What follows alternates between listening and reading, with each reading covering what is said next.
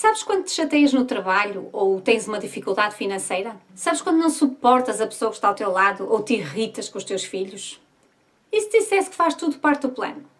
E se soubesses como deverias agir para mudar tudo à tua volta? Agora já podes saber. O oráculo astrocartomância não só te vai explicar porque estás a passar por aquela situação, como te orienta para o que podes mudar em ti e que se vai refletir fora de ti. Oráculo astrocartomância base celeste, 36 cartas astrais e manual explicativo. A resposta da vida nas cartas. Adquire já o teu exemplar em anamacieira.com. Em terceiro lugar, e com uma subida de 6 posições, nós temos o signo de Carneiro, ou Áries, como se diz no Brasil. E atenção, meus caros amigos carneiros, é que vocês, até o ano passado, tiveram aqui a passagem do planeta Urano, que ainda vai gastar um bocadinho até março, mas depois em março sai definitivamente. No entanto, Kiran vai entrar aqui em fevereiro. E atenção que eu queria que vocês entendessem isto. Vocês são pessoas que são muito movimentadas, muito energéticas, levam tudo na frente, fazem sempre, têm muita energia. No, e quando o Urano esteve aqui a passar, ele esteve a ajudar-vos a vocês fazerem mais, a movimentarem-se mais, Urano tem a ver com a libertação, tem a ver com a capacidade de fazer e de oportunidades para a vossa vida.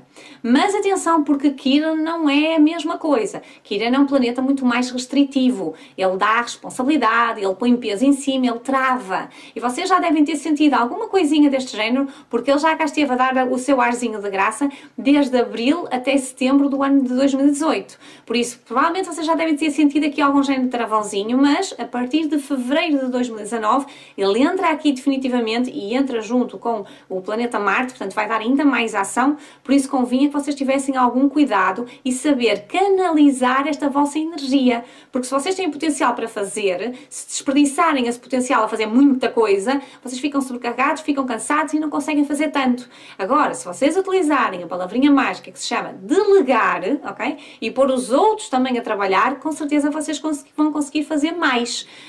Só, precisam de uma coisa muito importante, que é paciência, ok? É uma coisa que vos falta às vezes. Se vocês tiverem mais paciência, vocês vão conseguir delegar mais, vão conseguir pôr os outros a fazer mais, canalizam a vossa energia para algo que seja realmente importante e conseguem obter mais resultados, mais iniciativas, mais apresentação nas vossas vidas e com certeza será mais positivo a passagem deste Kiran por aqui. E atenção, porque ele ainda vai cá estar até 2026, portanto vocês ainda vão ter que sentir aqui este travão durante algum tempo para saberem como utilizar melhor esta vossa energia, ok? Outra área também que vai ser bastante movimentada no próximo ano é a área das emoções, uma vez que nós vamos ter aqui os eclipses a acontecer em janeiro e em julho. E eu lembro-vos que tudo que mexe com as nossas emoções está aqui contido nesta área, então estamos a falar da nossa família, estamos a falar da nossa casa, estamos a falar da nossa pátria, portanto, tudo aqui pode estar a ser movimentado agora durante este próximo ano por causa destes eclipses e o que principalmente estes eclipses vos vão querer dizer é que vocês têm que estar mais a cuidar de vocês do que a cuidar dos outros, ok?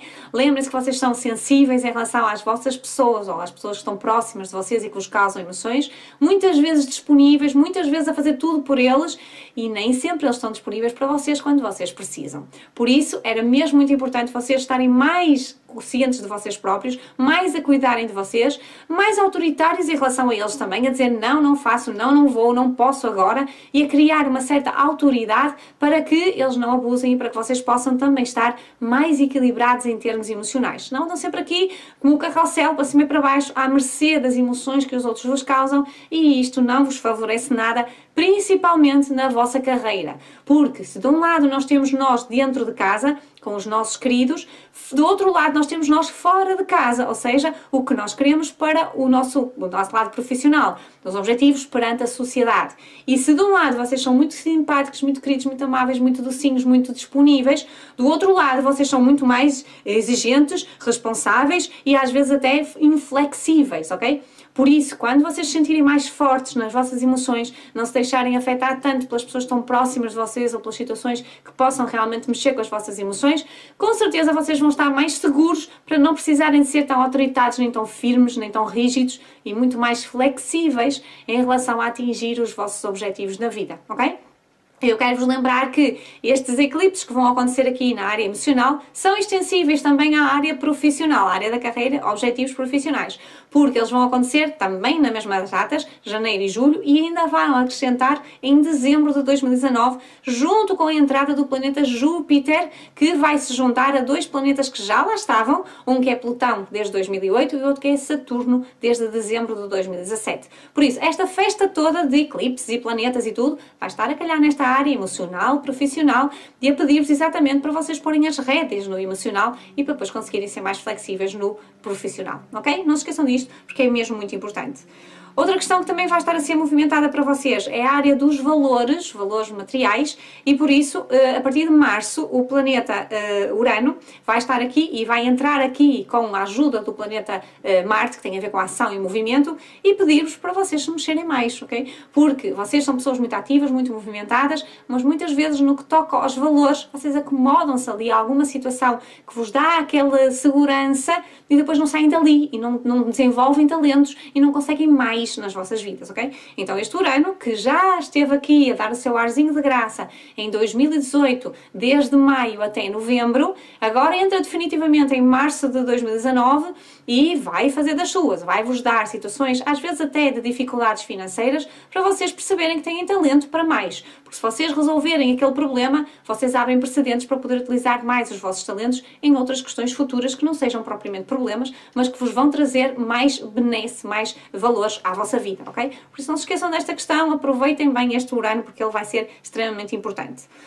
Já agora, também no que toca à espiritualidade, lembro-vos que vocês são pessoas que têm um potencial muito grande em termos espirituais. Eu não me canso de dizer isto nos meus vídeos. Vocês são muito sensíveis, vocês conseguem sentir, quase que o universo fala com vocês. E se vocês não estiverem a prestar atenção ao que ele está a dizer, se vocês estiverem nas vossas fantasias, nos vossos sonhos e entupirem o canal de ligação com o universo, vocês não vão estar a aproveitar, pelo contrário, vão estar mais a iludir-se e depois a desiludir-se, ok? Por isso, se façam lá um, uma limpeza limpeza mental em vocês, aprendam mais sobre espiritualidade, aprendam mais sobre as energias, as leis da vida e utilizem melhor essa situação tendo os pés bem assentos na terra, observando as coisas tal e qual como elas são.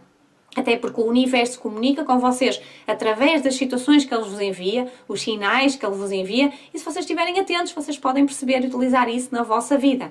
Se não estiverem atentos e estiverem lá nos vossos sonhos e fantasias, com certeza que vocês vão deixar passar situações muito boas, muito importantes, ajudas divinas e isso só vos vai prejudicar, ok? Por isso estejam atentos, aproveitem este Neptuno, que já está lá a passar desde 2011 e ainda vai estar até 2026, porque ele dá-vos mais intuição ainda e pede-vos mais para vocês terem os pés assentos na terra, caso contrário, lá vêm as desilusões, ok? Especial cuidado para o mês de março, em que Mercúrio vai estar retrógrado nesta área, por isso vocês, de uma forma geral, vocês podem ter alguma dificuldade em comunicar com o mundo, com os outros, e é uma excelente altura para vocês reverem, ok? Reverem as pessoas com quem estão a comunicar, reverem as situações em que vocês estão a comunicar, os assuntos que vocês estão a comunicar, tudo para que possam alterar o necessário para que depois, mais para a frente, quando o Mercúrio deixar de estar retrógrado, vocês já estarem a comunicar melhor, a entenderem-se melhor, mais com os pés assentos na Terra e mais a conseguirem aproveitar as ajudas do universo, ok? Em relação a relacionamentos, não há nenhum planeta específico a passar lá, mas aquele Kiran que eu vos falei inicialmente, que vai estar na vossa constelação, à distância vai afetar também os relacionamentos. Se não parem. Como vocês são muito energéticos, muito elevados, muito cheios de energia, no que toca aos relacionamentos, vocês vão ser exatamente o contrário. Um amor, uns docinhos. Dão tudo pelo outro, fazem tudo pelo outro, são sempre muito disponíveis e depois, obviamente, que não obtêm o resultado que querem em termos de relacionamento. Por isso, aqui a questão da independência é extremamente importante. Mas, se vocês estiverem a aproveitar o, Ura, o Kiran na vossa constelação e estiverem mais a canalizar a energia para coisas que sejam realmente produtivas e estiverem a trazer algum género de paciência e calma para a vossa vida, vocês já não precisam do relacionamento para vos trazer essa paciência em calma, ok? Vocês já estão bem com vocês e já conseguem criar um maior entendimento com o outro, ok? Por isso não se esqueçam desta situação e aproveitem bem todas estas passagens dos planetas para poderem evoluir bastante na vossa vida. Espero então que tenham gostado, foi esta a minha verificação em relação a este Top 12 List dos signos mais difíceis para o ano de 2019.